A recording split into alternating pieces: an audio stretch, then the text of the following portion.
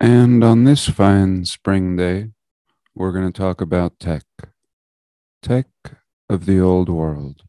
And today's video is brought to you by me and kind supporters via Patreon and PayPal. I want to thank you all and welcome.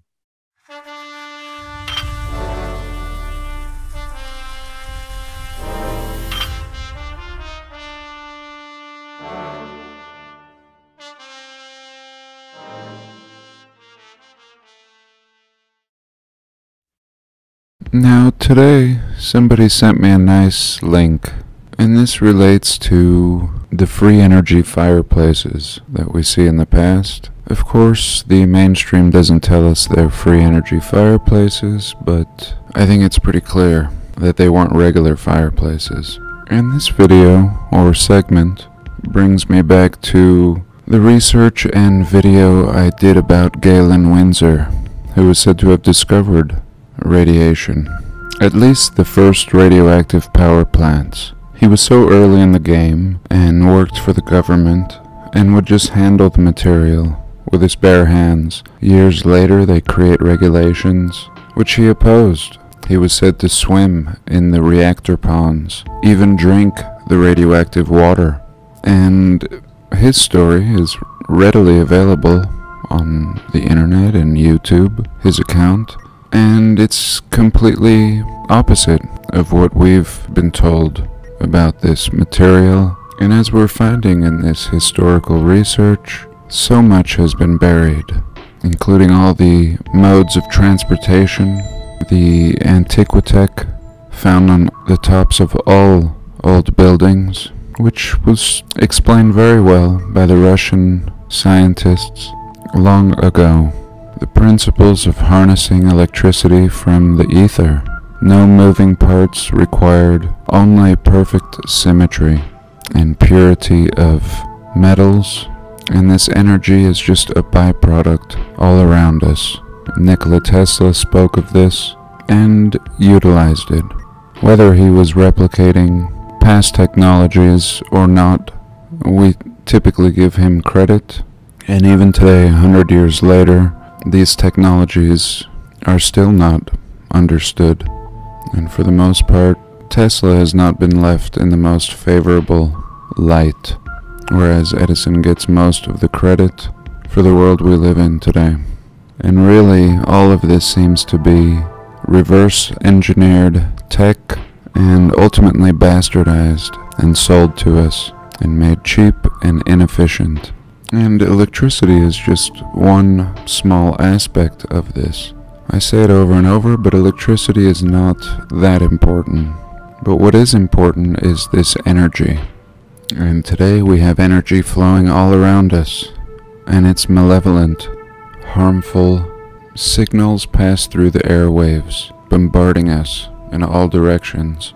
We even carry devices on our person emitting these negative energies, and ultimately masking the abundant and natural healing energy, sometimes called prana, sometimes called chi. And perhaps the most important usage of this energy is for one's own well-being, absorbing it, and this being the point of many Eastern exercises such as yoga and qigong and tai chi. We ultimately being the tech, a living and breathing technology, and in ancient Chinese texts, we're told man used to survive completely on this chi, and slowly lost this ability when he began consuming food. And I believe this is probably related to Wilhelm Reich, who also learned to harness and redirect the flow of this energy which I believe he called Orgone. And I think the old world understood this and built their buildings and structures and cathedrals, which were not actually for religious purposes, for this reason, just showering the residents with an abundance of this energy and well-being. And isn't that really what every creature wants? And back to this share we can have a look at stolenhistory.org, or what's left of it. Very upsetting. Over 75% of these pictures are missing, but we still have a little husk of this original post. So I thought while it's still here, we'll have a look. So here the post is titled 19th Century Radium Heating Systems. And here we see a depiction of a 19th century vision of the year 2000. And this seems to come out of France. And here's what they imagined the future to look like. And really, to us, everything kind of looks the same. And even their fireplace looks exactly like it would in the early 1900s, at least from the pictures we see. The difference is, is that they're actually using it like it was intended. And when people initially arrived and inherited this realm, they had no idea how to fire up these babies, and they stuffed wood in them and had fires, which were very inefficient at heating these massive homes and buildings. And if you've ever had a fireplace, you know, especially if you're surviving and using it as your exclusive heat source, what a pain in the ass it is. All day and night, going in, going out, cutting wood, cleaning the mess. And this is very telling. Let's save this picture.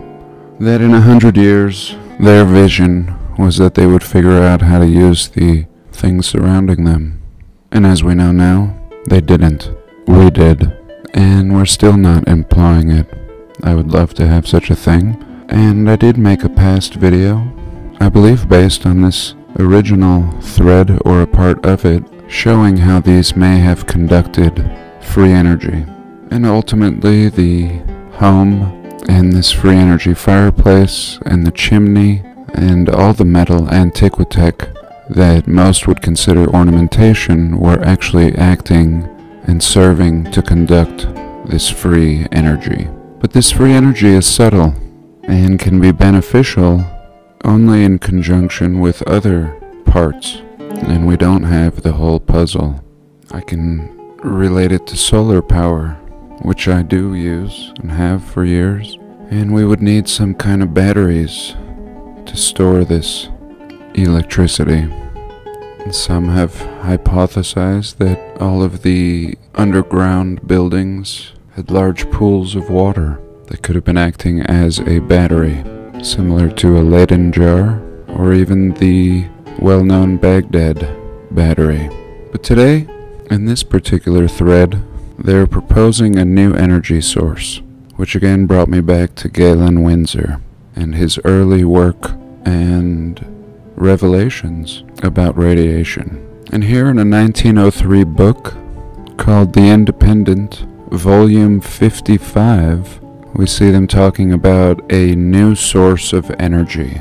And in summary, the mystery of radium remains unsolved and no one has yet been able to ascertain where it gets the energy which it continuously radiates as heat. Light and rays of such astonishing, penetrating power. When King Edward and Queen Alexandria visited the London hospital recently, a pile of six pennies was placed on top of a minute piece of radium, and the light was visible through the coins. So here radium, and again, perhaps the radium would receive a small, small charge from the Antiquitech, producing a second form of free energy, working in conjunction. And this is absolutely amazing because I was just in this town and I have seen this fort with many what seem like older blocks. And then they had these little fort cabins made of wood. And I had been inside, and I wasn't impressed with the old westy wood forts when we had beautiful stone ruins all around it. And that's what I was looking at. But nevertheless, this guy went in here and got a picture of a fireplace. It's called Fort Bluff. And what he noticed is this radiation symbol on the fireplace, as we see down here, in comparison to the symbol we all know so well. And I have seen a lot of fireplaces. But this one really does seem like it's not made for wood. And initially, this is a little window, which is handy with every fireplace. And he suggests that the stovepipe is a much later addition. And I agree. And typically, any stovepipe is not made by the same manufacturer. But when looking at this thing, I think he makes a really good point. Unbelievable. And again, if I wasn't aware of the work of Galen Winsor, I would think that this was nuts, as most people do. Still thinking this is a really dangerous element. And I don't know what it is. Seeming like it could be a byproduct or something left over from the reset. But this past civilization, clearly understanding how to use it safely. And let me know what you think. Is this just a fluke? And he's telling us here that this symbol is not just used for radioactivity, but also a warning sign of just any ionizing radiation, as many non radioactive sources also emit potentially dangerous levels of ionizing radiation, including particle accelerators. Very interesting. Here showing the true invention, so they say, of radium discovered by Marie and Pierre Curie in 1898. They extracted the radium compound from uraninite. The radium was isolated in its metallic state through the electrolysis of radium chloride in 1911. Pure radium is a silvery white, but it reacts with nitrogen on exposure to air, forming a black surface layer. And this part is really fascinating. With the discovery of radium, the society went bananas and started sticking radium into just about everything. We're talking about soap, toothpaste, chocolate, teas, coffee, food, cigarettes, and bath salts. And this part we're missing the images for. But here I found a little article showing this. So they were putting this into beauty products and people were soaking in it.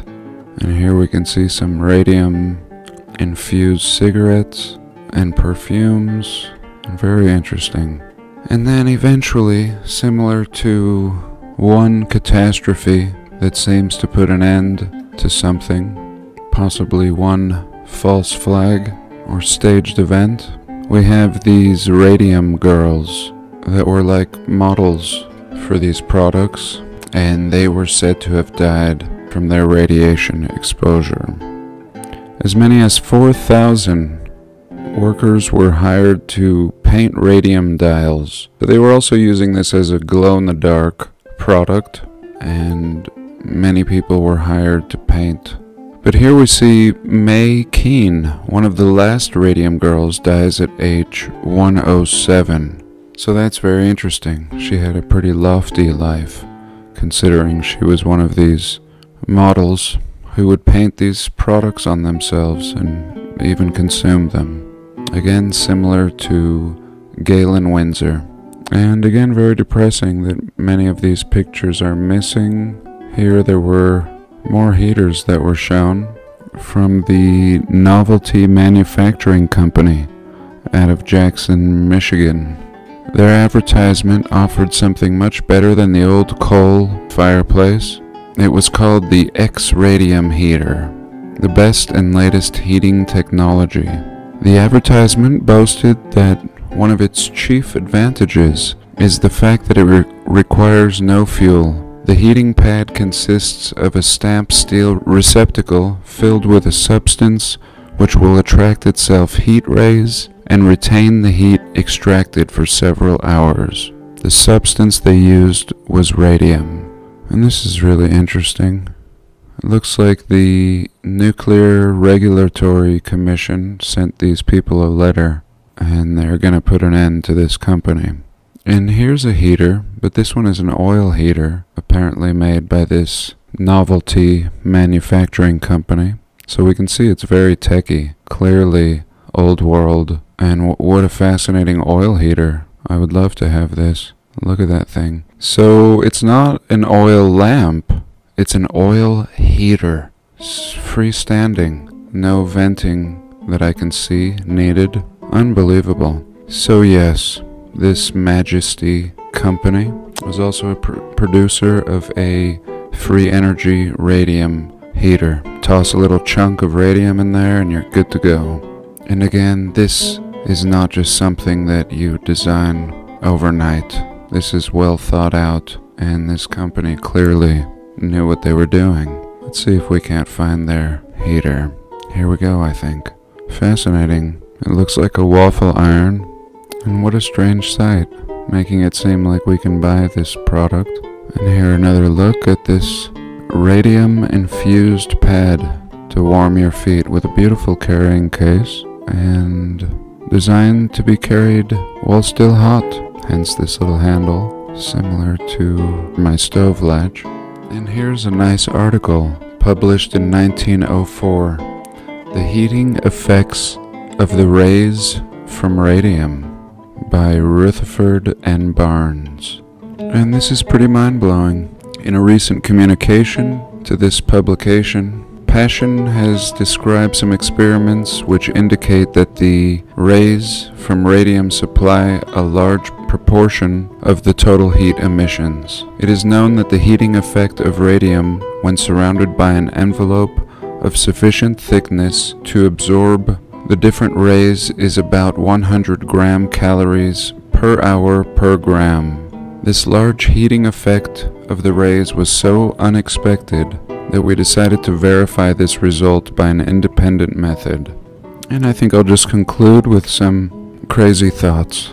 Of course, I really believe lately that giants built our realm, as everything such as the doors, instruments, weapons, buildings themselves are massive and seem to be built for and by a people much larger than us. And if everything was inherited, and we seemingly arrive from the 1850s to early 1900s as inheritors, then there must have been no civil war. This is the condition that we found the place in. And I've made many videos discussing the falsities of the Civil War, and I won't get into that now, but if you can conceive of this when looking at the ruins seeming more like Hiroshima than that of cannon and cannonball destruction, then we next have to ask ourselves, what of slavery in the African American? And of course, this is just a theory, but we would have to conclude that they were already here. And we see evidence of this when we look at all the different Native American tribes that used to exist and not fitting the look and modern stereotype of what the Native American is supposed to look like. But again, not giants, but perhaps survivors of a past reset.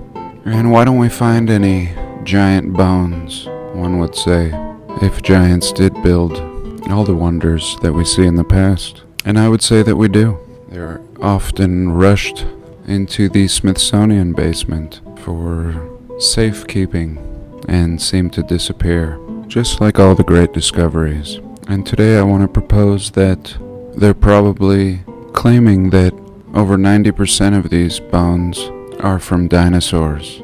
And I think many of these finds are reconstructed into fictitious, reptilious looking creatures, when in fact they are the bones of giants. And finally, I just want to conclude with chi, or this energy that we started off with. This understanding coming from China, Japan, and India, at least in my understanding. And as of today, with an almost certainty, I believe all this wisdom did not come from these people, but rather came from the people before them, and they've inherited all of this wisdom. And it is the greatest wisdom I have found for the well being of humanity, understanding how to absorb these subtle energies. And even in the Chinese histories, most of these books and their authors don't have names and were said to have just existed throughout their entire history, such as the I Ching and other classics. And when we look at China, we see mummified Caucasian, red haired people found all throughout, and the Chinese government has tried to cover this up, and it would seem clear that this region and wisdom was Tartarian and is disappearing quickly. So that's it for today. I thank you for joining me, and do have a blessed day. Please like, comment, and subscribe.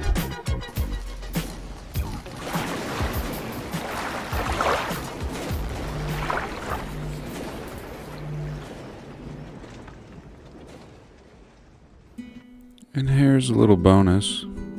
I want to show you an up and coming video where we'll discuss the ruins of the Civil War, the ruins of Hiroshima, and the ruins of San Francisco, and how they are all identical.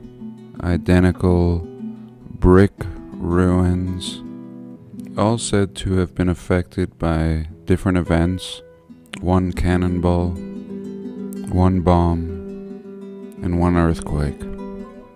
And we'll also look at some comparisons of the Dome of the Rock in Jerusalem, as seen here, with a very similar looking building in Chicago.